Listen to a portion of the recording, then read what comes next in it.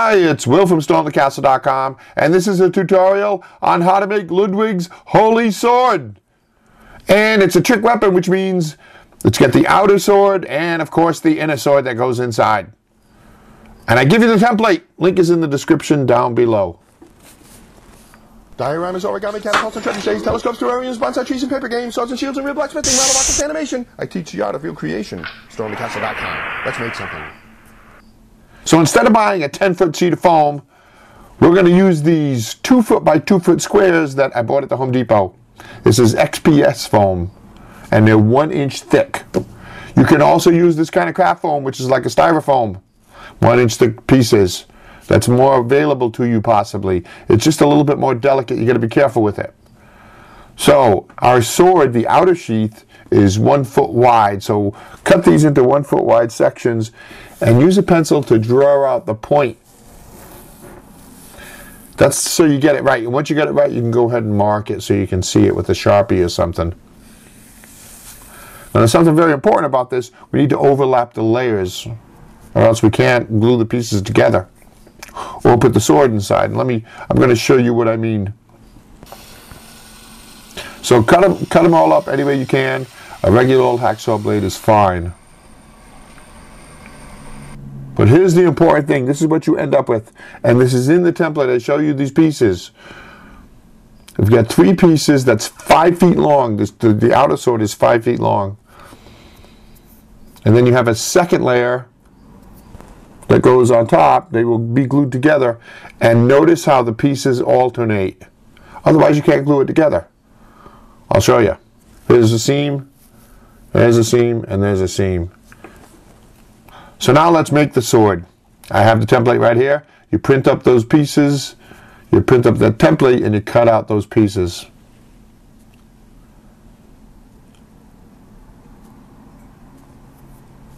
And then tape them together to form the sword like this.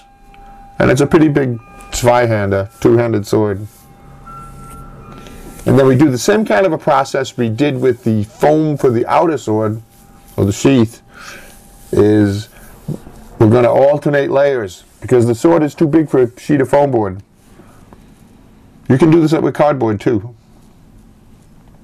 But let's make one sword here. To use your template to trace a couple of pieces onto the foam board or cardboard and then cut them out. There we go. That is one sword.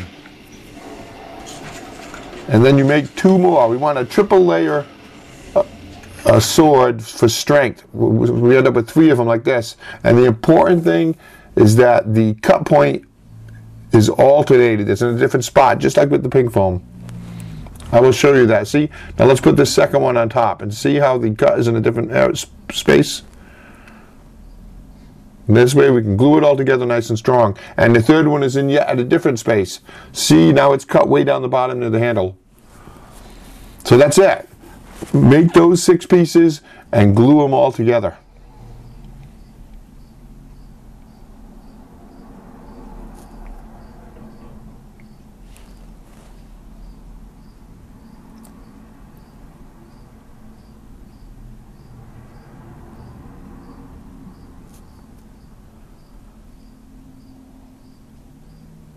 Takes a little time. This project is actually a pretty easy project. You're going to have this massive sword done in no time at all, maybe one day.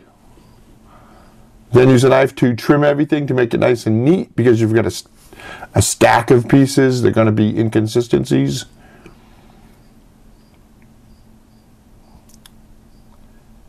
And then use some sandpaper to clean it all up.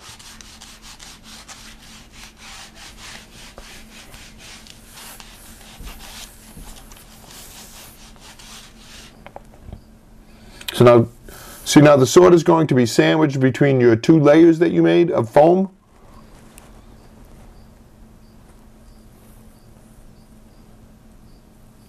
But there's a big space for the sword. You can't just glue it in. What we need to do is carve out the space in the foam so the sword will nicely slide in. So mark up your foam layers. And this is important. When you mark the second layer, flip it over so everything stays the same. Nothing moves. And this way, any inconsistencies in the sword will be transferred to your sheath, the outer sword, and um, it'll still work fine. So now I'm going to mark the second layer.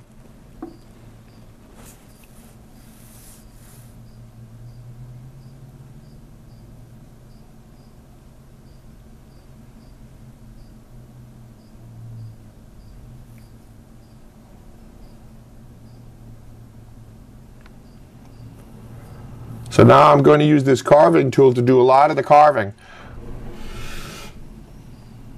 We're going to carve out that space so the sword slides into it nicely. And we do about half on each layer. So you go to about halfway. And there's a lot of different ways you can do this. You can use a rasp. Rasp works pretty good on this too.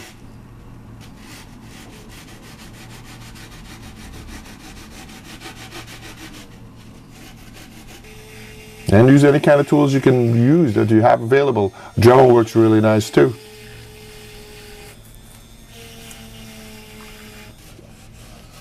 And I used a piece of foam board to check it. It's kind of like a, a gauge to see what I needed to continue to carve.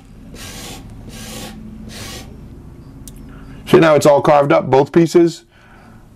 See now you can see how that goes. The sword is going to go in between and we glue when we glue those two layers together the sword will be able to slide in and out easily of the outer sword or the sheath. And I'm using liquid nails for paneling wood and foam molding foam molding. Some glues will melt foam so you should test if you're not sure. So now glue everything together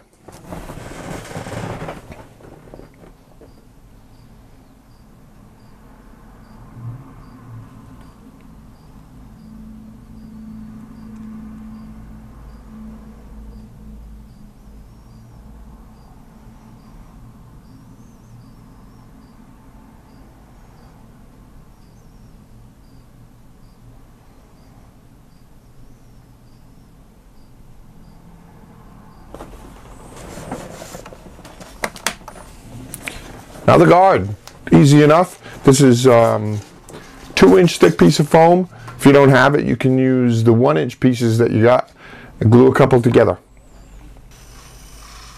I just cut out a nice oval and a slot that'll go over the outer sword, the sheath, like this.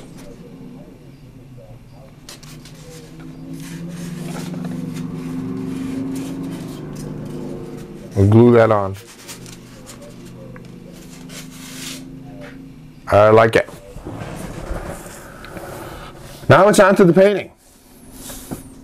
The bevels are like this, so mark those off and then cut them. And if you don't have a hot wire foam cutter, you can do this with a serrated knife, or you can do it with um, sandpaper even. A regular knife and then sandpaper to make it neat. But there's a bevel along each side of the blade, and it makes a difference in how the sword looks. So put this bevel, if you if you possibly can.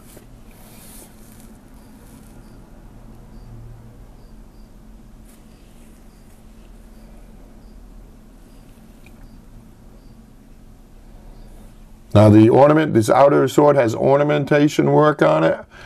Have some fun drawing that out with pencil first. So you can get a, a sense for the, the the artwork and how it looks and getting it right, and then strengthen them with a, a marker or a sharpie or something.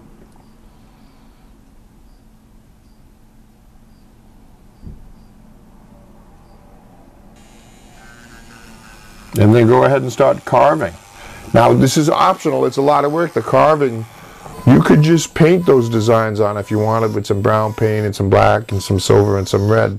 But I went ahead and carved it, it looks nicer. And then once you get it all carved, uh, paint that inner whole intersection mostly brown with some red added in.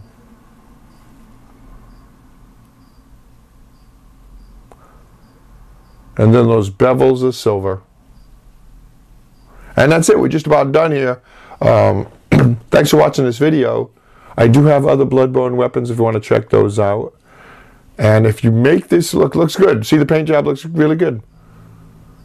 If you make this project, what I was going to say is send me a picture. I will send you a certificate of contribution and I will put the picture on my website. So the sword, the pretty straightforward. The blade is silver. The handle is black. And then some detail work with silver. And that's it. And you can do as much or as little detail work as you want.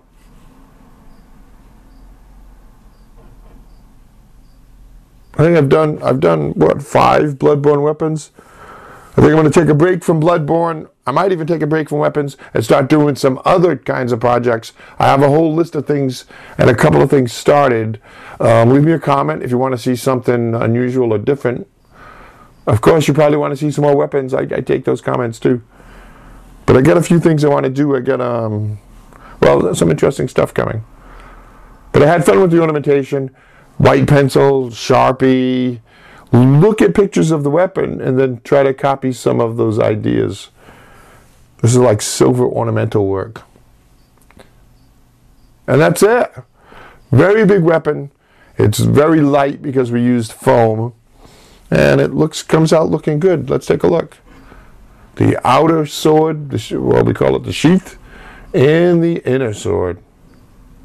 I like it. Give me a thumbs up.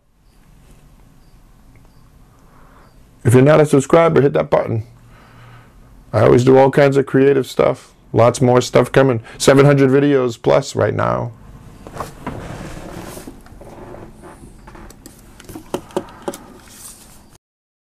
Thanks for watching that video. I hope you enjoyed it. If you're a subscriber, thanks for subscribing to my channel. If you're not a subscriber, hit that button. I always have lots of fun and interesting and very creative projects. I do two new ones every week. As an example, here's a couple more videos you might want to watch.